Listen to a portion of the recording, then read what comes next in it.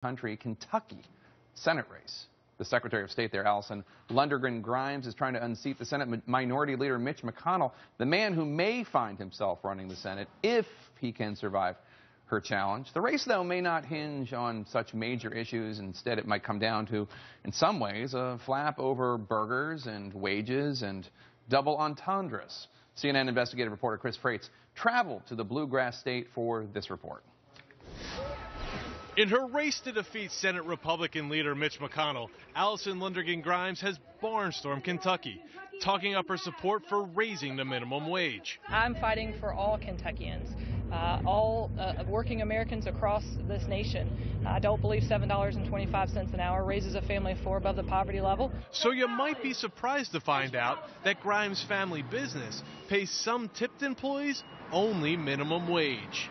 Here in Kentucky, servers at Hugh Jass Burgers, yep, you heard that right, make just $2.13 an hour.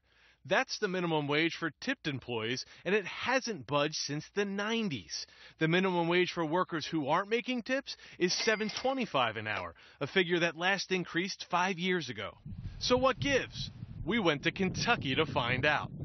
For me, it's about making that sure that hardworking Kentuckians have a bright future, and that future includes having not just a minimum wage but a living wage. And at the restaurant owned by Grimes' family, a living wage includes one that depends on tips. My family is not in this race. I'm on the ballot. What Grimes doesn't mention is that while she doesn't own the restaurant, she did do some of its legal work, signing the business and corporation documents and representing the restaurant in a lawsuit.